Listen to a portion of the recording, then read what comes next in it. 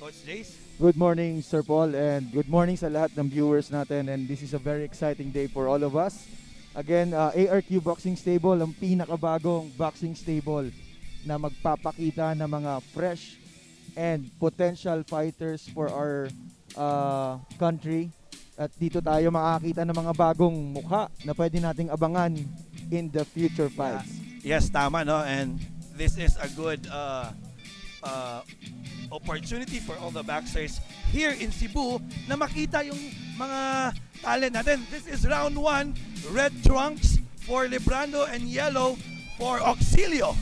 At makikita natin, sobrang aggressive ng simula nitong ni Rexcar Auxilio, throwing some hooks. Coach JC, this is just a four-rounder fight, 126 pounds.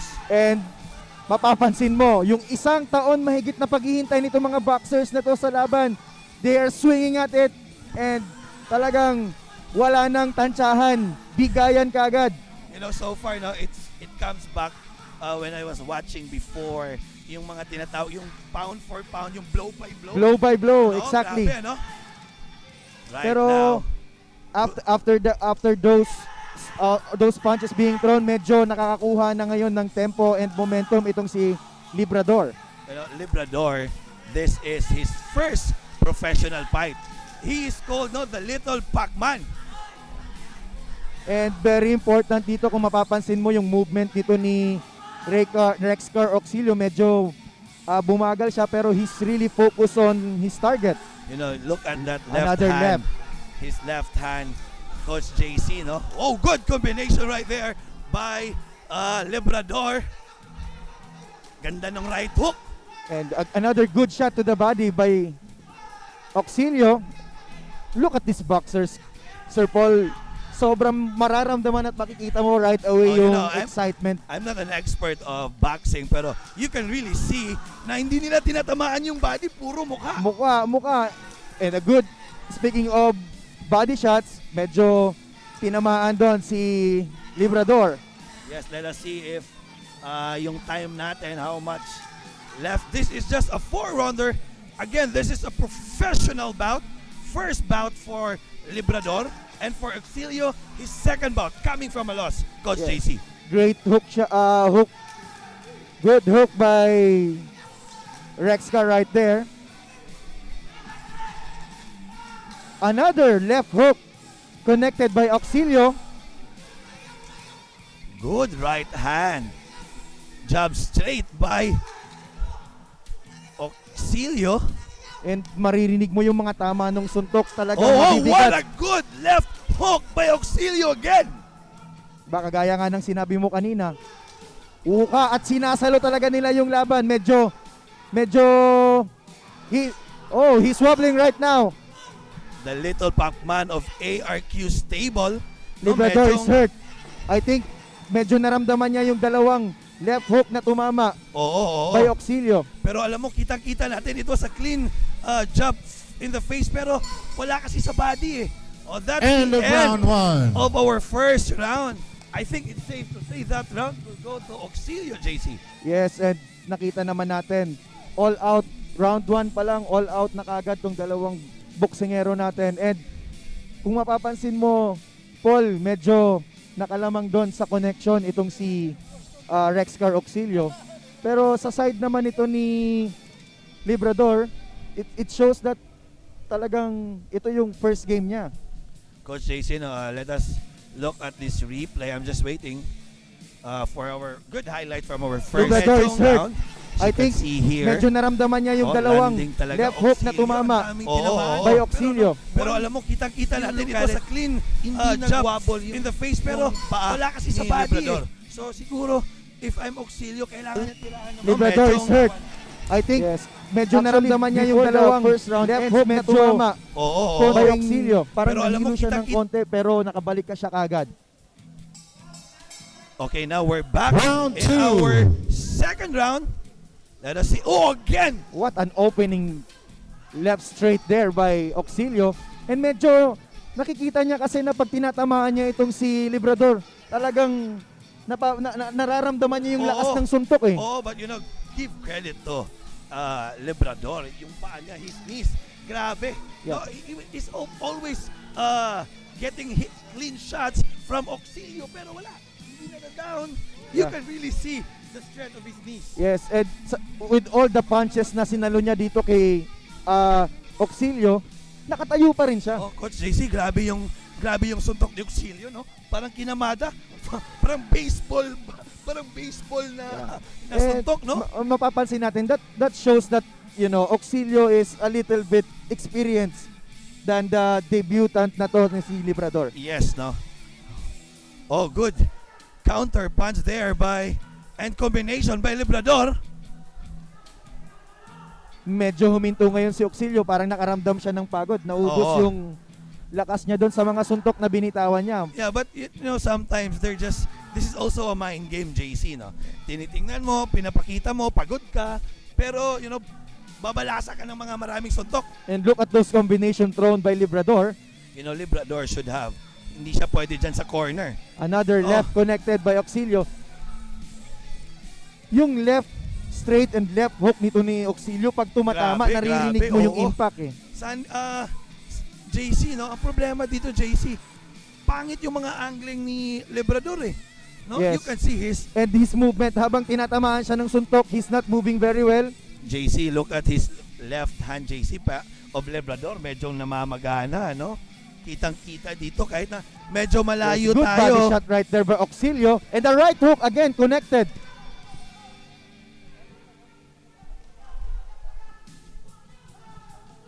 And another left hook by Auxilio, yung left, left hook and left straight ni Auxilio. Pag kumukonekta, medyo talaga makikita mo yung ulo ni Librador. Talagang Coach JC, malayo tayo ha, but we can clearly hear the you can blows. hear and also yung parang gust, mararamdaman mo rin eh. Librador now starts to I think yung kaninang napapansin natin na kaya niyang saluhin yung suntok. He's starting to feel the punches right now. Yeah. He's can not hear. really moving well. And Auxilio is really attacking him. Oh, good.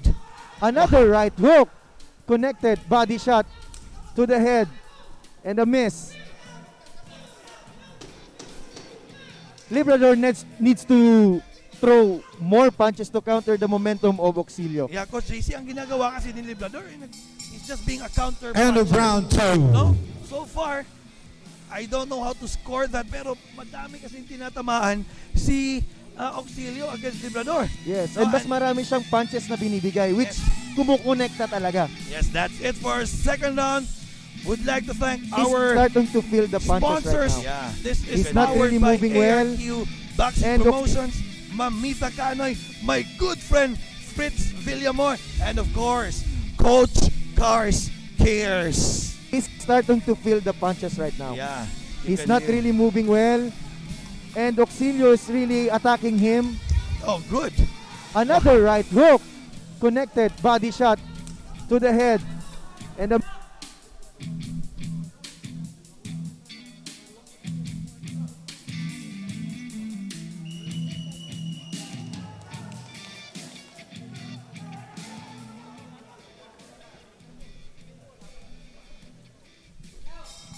Round three. And now we're back for round three. This is a four-rounder professional bout between Auxilio on the red on the yellow trunks and Librador on the red trunks. Coach JC, so far sa two rounds, ano ang kailangan gam- gamitin ni Librador? I think Librador should move well, avoiding those left hooks and left straight. Kasi ang lalakas ng suntok na binibigay ni Auxilio eh. Yeah, And tinatanggap talaga, no? niya lang. Hindi siya Grabe. gumagalaw to, you know, dodge those punches. Walang dodge, walang sidestep, hindi niya he's not protecting his face. Kaya nga, you can clearly say on his left hand, namamagana. Rather, left eye of Librador. At before you mentioned that left eye, tinamaan na naman siya ng isang right hook galing dito kay Auxilio. And nakikita natin, kino-corner na siya ngayon nito ni Auxilio eh. Talagang the more punches na binibigay ni Auxilio and eto, nakabawi ng konti dito si Librador. Grabe no, you can we can clearly hear the the coaches from both teams na grabe. oh. Go, go, go. Good combination right there. Right hook to left straight by Auxilio. Pero, yung tibay ng Librador. Oh, Kanina grabe. pa to tumatanggap ng malalakas na suntok pero Madami, nakatayo ah. pa rin. Madami ah. Sayang, no? You gotta give credit may to... mga stats pa lang tayo. Thrown punches. Yes, yes, correct. Throw, ah, ah, punches that landed. Ganda sana, no? Or Librador now starting to answer back. Ana- Another left hook there connected nito and an uppercut by Auxilio. Another right hook. Pero yung mga tama ng suntok ni Auxilio, sa nasalo lang nito ni Librador kanina pa eh. Oo eh. You know, para siguro kay, karang kaya niyang tanggapin, no? Kasi nga, kung malakas talaga yung suntok ni Auxilio, kanina pa sana to down eh. Ang Da- dami ng, ang dami niyang ni-receive eh. You have to give credit sa conditioning nitong dalawang to. Oh, Talagang Hats- pinaghandaan nila tong laban yeah, na to. hats off to their, uh, their, to their strength and conditioning coach, Coach Roger Potot, no? Another left and an uppercut to the body by Auxilio. Another right hook. Ang sakit. Coach Ma- JC, maririnig mo yung impact ng suntok eh. hindi ko kaya kung kaya ko to. Another right to the butt, to the head. Good thing we're, we're, we're into basketball. We play basketball, but boxing, mahirap to. Mahirap, mahirap. And to think na kanina pa siya sumasalo ng malalakas na left and right hook nito ni Auxilio. But Labrador showing heart. Just pure heart, just standing here. And the left hook by Labrador, medyo na-shake niya din doon si Auxilio. Napatigil ng konti. You know, End of Auxilio, round three. parang nag-relax konti doon. And that's the end of our round three. We have one more round and that will be the last round for our first might fight here in our first ARQ boxing promotions. And what a way to start this day. Eight fights, pero nasa first fight pa lang tayo, pero makikita natin kung paano may magbigayan ng suntok na kanina pa siya sumasalo ng malalakas na left and right Labrador at si Auxilio. But Labrador showing heart, just pure heart, just standing here. Natin. You know, MMA, boxing, taekwondo, martial arts, it's more than a physical game compared to basketball. Yes, and kanina nga na-mention ko yung conditioning nitong dalawa. Given na sobrang lalakas ng suntok na ni-receive nitong si Librando, nakatayo pa rin. Grabe talaga, no? Nakatayo pa rin. Yes, Last round. ki- kitang-kita mo talaga, Coach JC, no? Na they're there. no? They're very fit physically talaga. And now this is the start of our fourth and final round. Let us see if may chance pa tong si Librador. And again, Auxilio opening this fourth round with a lot of combinations to the body and to the head. And look at that left to right hook. Bumabawi naman ngayon si Librador. You know, parang parang nakikita natin kay Librador, JC, no? He's saving his best for last. Yes, Paul. Pero nakita... Oh, and good, good left hook right there. Auxilio was shaken by that left hook. Right hook to the head.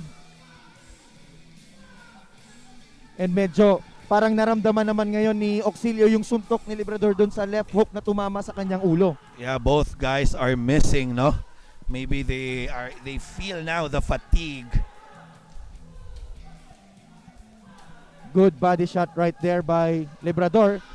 Left hook to the head.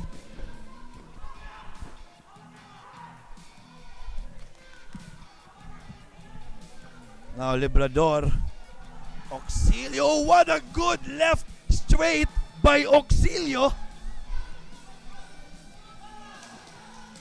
Grabe Sabi nga si nila, Auxilio. Kanina pa to, JC, grabe. You know, he's very uh, precise on that uh, right hook and right uh, left straight jab. Good right hook right there. While you were saying that, Paul, makikita mo itong si Auxilio, talagang binibigay niya na lahat.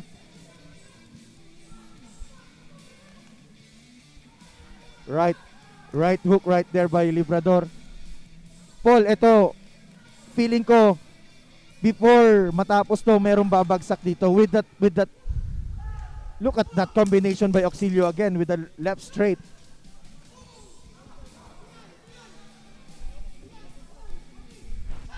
Oh, what a good right hook there by Librador.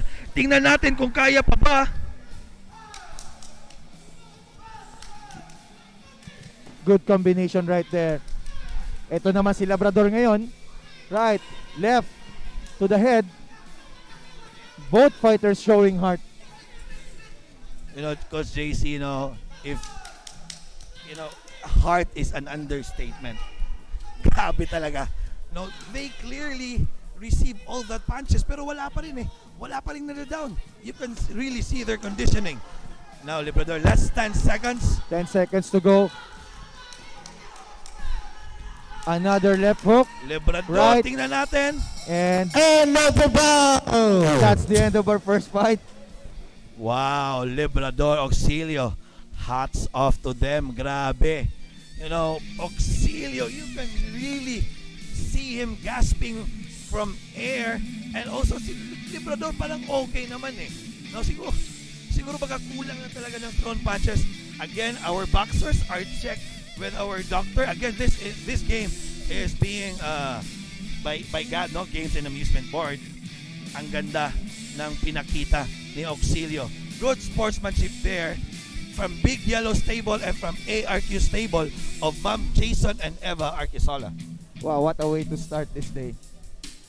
Yes, so, Auxilio, Librador, slugging it out, remaining standing, walang bumagsak. walang Walang bumagsak. but bumagsak with the heavy punches, the heavy combinations na binigay nila, body shots, head shots, pero they're still standing hanggang matapos yung Yeah, but- apat na round. Yes, but the first two rounds, JC, no? Grabe, ang daming landed na punches ni Auxilio. Clearly. kung- Our special thanks once again going out to si ARQ Librador, Builders, Siguradong down. na. Mike Tacano, Okay, let's go back to our MC Fritz na Villamor, for, and Coach for Carl the announcement of the winner. and our very own Pow Salute and Company. Thank you.